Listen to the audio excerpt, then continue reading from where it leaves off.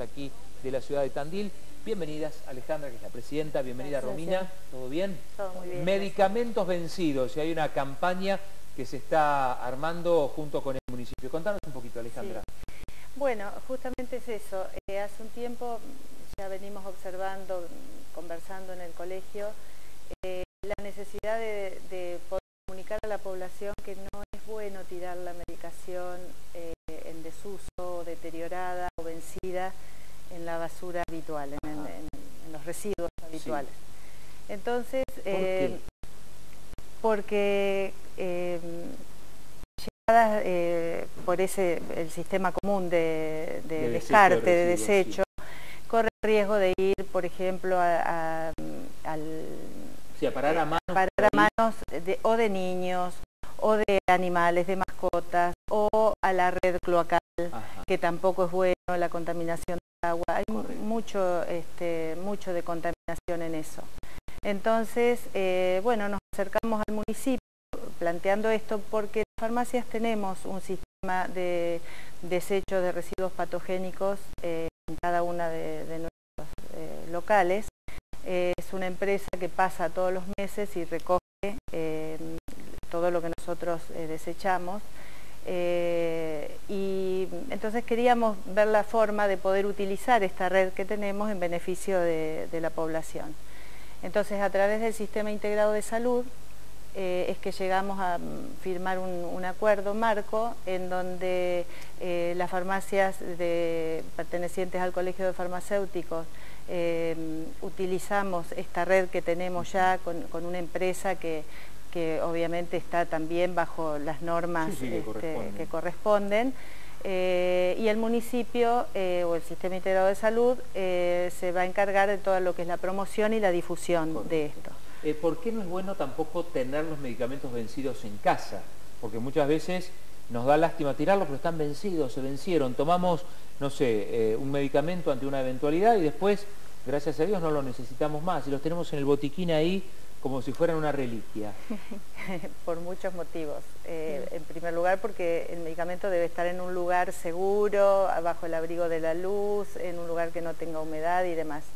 Y después porque uno en la casa nunca sabe, por ahí una criatura, eh, por ahí un vecino, mira, tomate esto y en una de esas capaz que no es eso. Eh, sí, es eso y está vencido, además de que no hay que... Y porque el medicamento debe ser tomado cuando el médico lo indica, que es lo más y una vez que se tiene la fecha de vencimiento, esa fecha de vencimiento, después de esa fecha no se garantiza que el producto sea lo suficientemente estable para ejercer la acción que tiene que hacer en el organismo.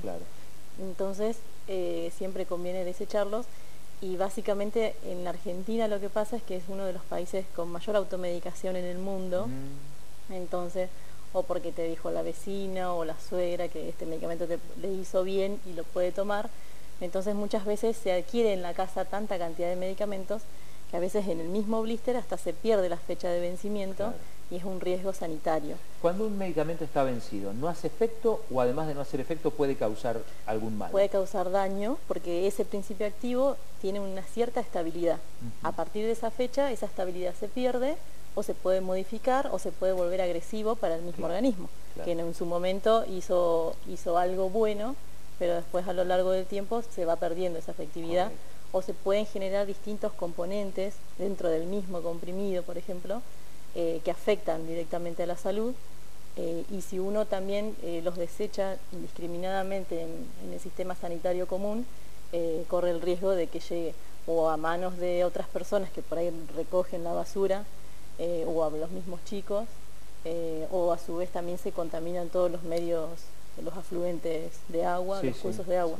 Sí, eh, no sé, hoy lamentablemente em, se rompen muchas bolsas de basura antes de que lleguen a donde tienen que llegar. Lamentablemente todavía acá en Argentina no hay estadísticas de, en cuanto a este tipo de, medicamentos vencidos y sí hay a nivel internacional, eh, que hay un gran aumento por la gran demanda de medicación que hay de un riesgo sanitario importante para toda la población. Romina, ¿y cómo se va a instrumentar este, mm, a ver, este juntar medicamentos vencidos en la farmacia? Yo tengo acá eh, este cartelito, ustedes lo van a ver en las farmacias eh, donde se pueden llevar los medicamentos vencidos, ¿verdad? Sí, eso lo llevan, eh, la gente se acerca a la farmacia, nosotros tenemos esas cubetas de desechos patogénicos eh, se completa una planilla, que es importante porque nosotros vamos a tratar de hacer un registro y Ah, tener una estadística eh, de los medicamentos acá en esta zona, en esta localidad.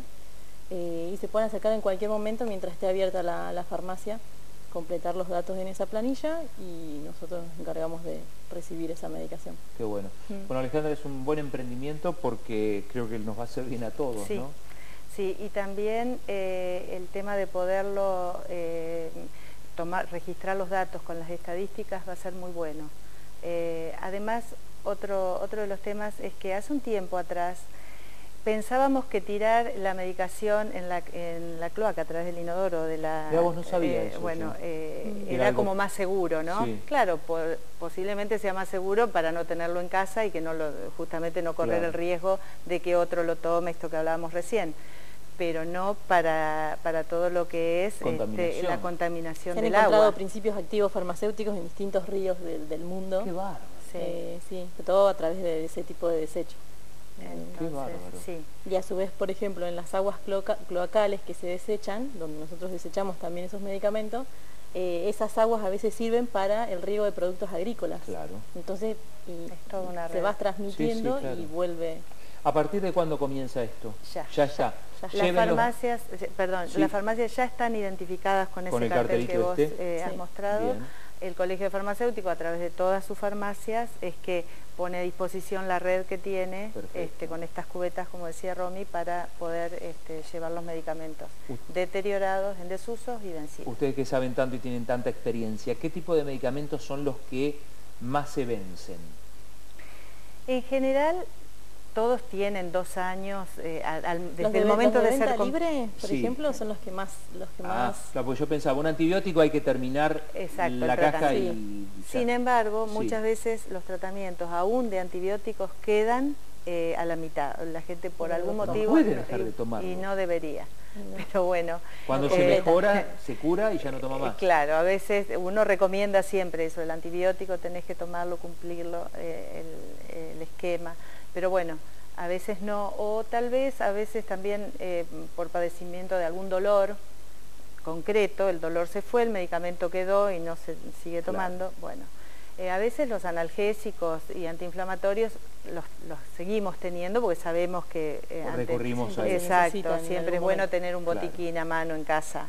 Eh, el vencimiento es largo de los, de los eh, antiinflamatorios y demás, pero cada blister tiene, Sí, sí. por más que eh, hayamos tirado la caja, el blister tiene la fecha de vencimiento. cual, Así que cual. eso hay que tratar de que por ahí también tenerlos en casa, en algún lugar donde no se aje el blister, donde podamos seguir viéndole la fecha y demás. Correcto.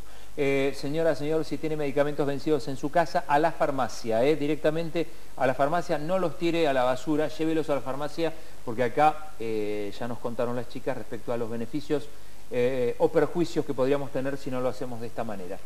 ¿Algo más que quieran agregar? Sí, eh, también que tiene que ver con la salud, pero ya no con, este, con el tema de los medicamentos, avisarles, contarles a los afiliados de PAMI que todavía tenemos vacunas antigripales en las farmacias, pueden acudir, deben acudir a las farmacias. Si no se A vacunaron, si aún no ahora, a principios de agosto, a vacunarse igual. Y porque el frío continúa, eh, acá en Tandil tenemos frío hasta Sí. septiembre, octubre, entonces eh, si no se han vacunado es recomendable que lo hagan. Por supuesto, siempre es bueno el consejo del médico, Claro. pero eh, el 90%, la mayoría de los Sí, médicos están claro. aconsejando que eh, sobre todo el abuelo, que es la población de riesgo, que se vacune. Bueno, hay vacunas gratis todavía en las, en las farmacias privadas justamente para los abuelos de PAMI, para que se vacunen gratuitamente. ¿eh? Aprovechar porque si no se vencen. Así es, ¿eh? Y después no es sirven. una lástima que Sí. queden las vacunas y que después tengamos que tirarlas. Eh, Alejandra, muchas gracias. Romina, muchísimas gracias. No, ¿eh? al contrario. Colegio de Farmacéuticos, la recomendación para los abuelos que no se vacunaron todavía contra la gripe, que se vayan a vacunar, es gratis. Y para los que tienen medicamentos vencidos, llevarlos a la farmacia, no tirarlos a la basura ni al inodoro, llevarlos a la farmacia. Pausa.